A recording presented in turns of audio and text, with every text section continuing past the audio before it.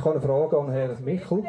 Und zwar äh, ist es äh, schweizweit üblich, dass, also in letzter Zeit mindestens üblich, dass nur junge Männer äh, von diesen Staaten zu uns in die Schweiz kommen. Wo sind all die Familien, wo sind all die Kinder? Wenn es ja um Geflüchtete geht, dann müssen wir eigentlich annehmen, also mindestens ich denke, dass, dass da auch Kinder und Familien und Frauen äh, dabei sind. Wo sind die? Mir ist wichtig, wir haben nie versprochen, es kommen äh, viele Familien mit Kindern. Ähm, das ist Krieg gegen die eigenen Bürger. Für mich sind das einfach nur Profiteure des Elends. Familie Eschlimann, beziehungsweise sie, weil er ist ja schon zweimal Konkurs gegangen. Er schuldet vielen Menschen noch viel Geld.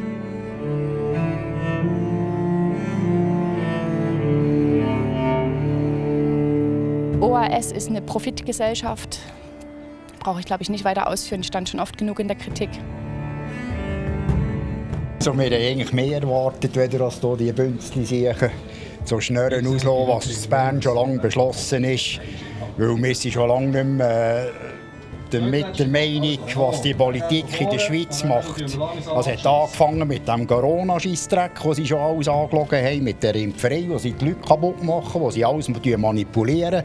Also sie alles nur noch Krüppel dort in Bern. Die Menschen haben Angst, wirklich Angst. Guten Abend miteinander.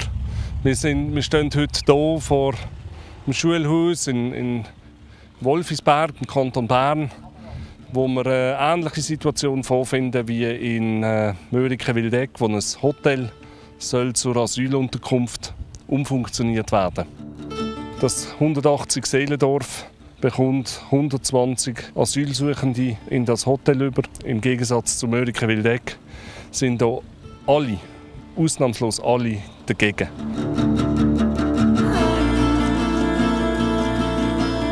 Also am Anfang wurde uns mitgeteilt, dass äh, gewisse Abklärungen bereits getroffen wurden und nur Flüchtlinge der Phase 2 kommen, das heißt bereits überprüfte, integrationswillige Flüchtlinge und neu heißt es aber, es kommen alle Stufen der Flüchtlinge und das bereitet uns natürlich auch ein bisschen Sorgen, weil Integration per Definition ist hier oben definitiv nicht möglich. Wir haben keinen ÖV, wir haben keine Schule, wir haben keine Läden.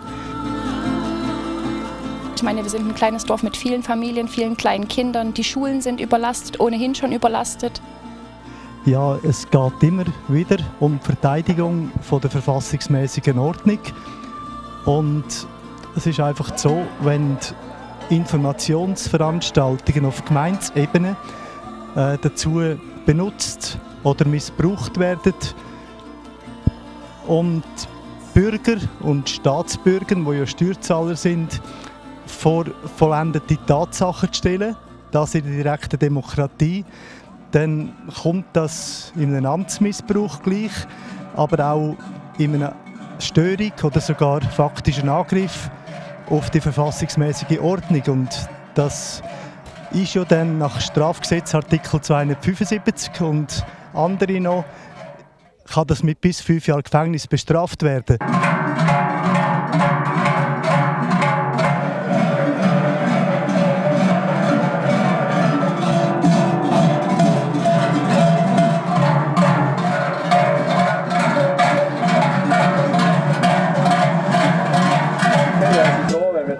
Äh, durchziehen und vielleicht sind wir am Schluss noch da. Danke. Merci vielmals.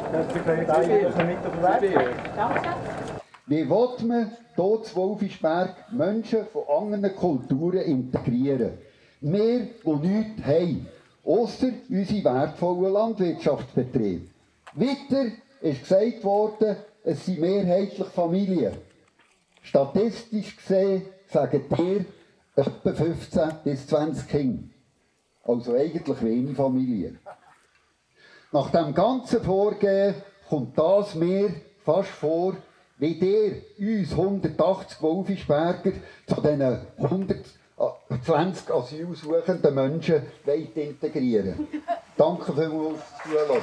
Ich bin der Lukas von einer Nachbargemeinde. Ähm, die Frage war, ob der freie Wille der Menschen hier überhaupt respektiert wird, ob sie das wollen oder nicht. Und dann war eine zwei-, dreiminütige Ausrede und eigentlich war es nein. Also für mich war so die Antwort, ähm, wir entscheiden und ihr könnt einfach klar mit dem. Also die Leute, die Menschen hier gerne nichts sagen, es ist eigentlich scheißegal.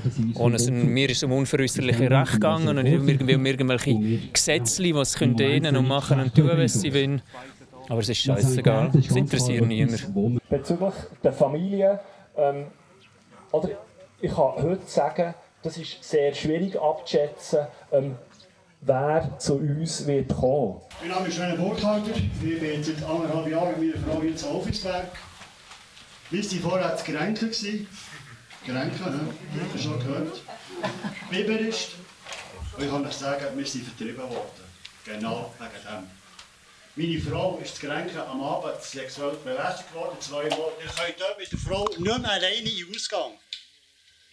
Und jetzt kommen die hierher und wollen uns solche Sachen erzählen. Für wie dumm schauen die uns eigentlich an? Herr Michael. Und die klar.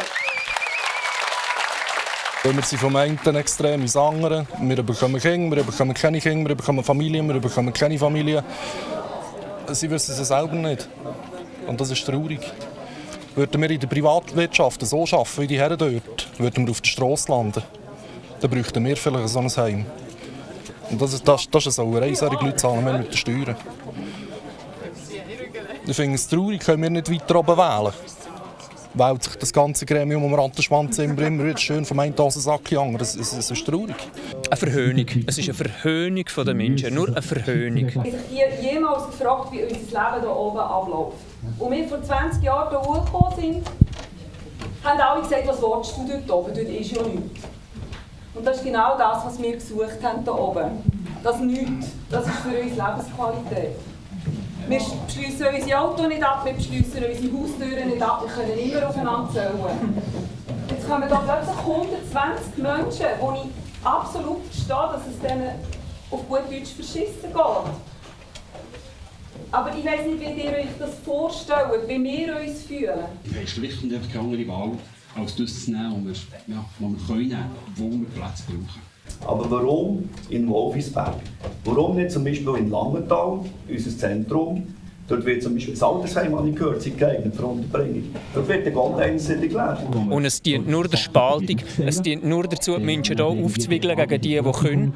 Und es werden keine schlechten Integrationen erfolgen. So. Wenn man Menschen will helfen will, dann tut man es dann woanders her, aber nicht dort, was niemand will. Da hilft man ja weder noch.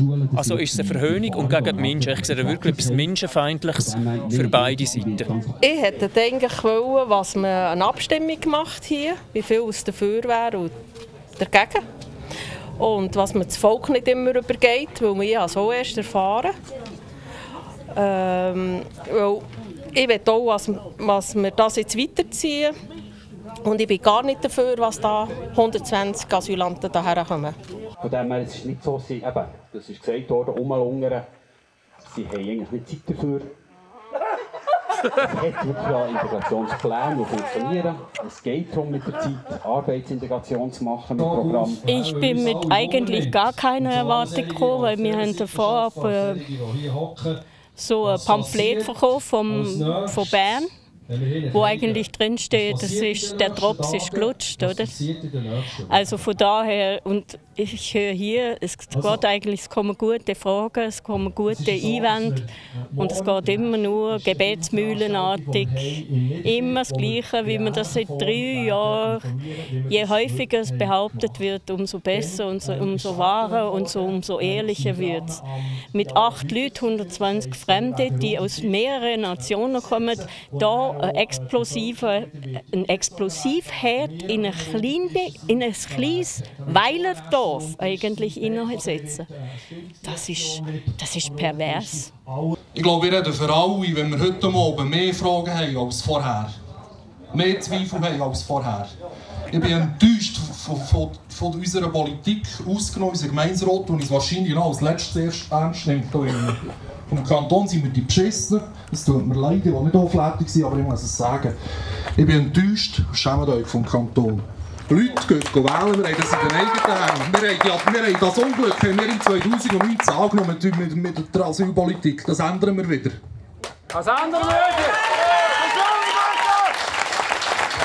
Also wenn da Niederbipper insgesamt und auch die Ortsansässigen vertraut haben auf die ähm, Subsidiarität der Gemeinde, auf die Gemeindeautonomie und auf die Souveränität vom Kanton, dann sind sie jetzt da getäuscht worden und dann müssen wir für die Verteidigung von der Grundrechte, von der verfassungsmäßigen Ordnung und von den allgemeinen Bestimmungen, die die Schweiz vereidigt, gelten für alle, dann müssen wir anstehen.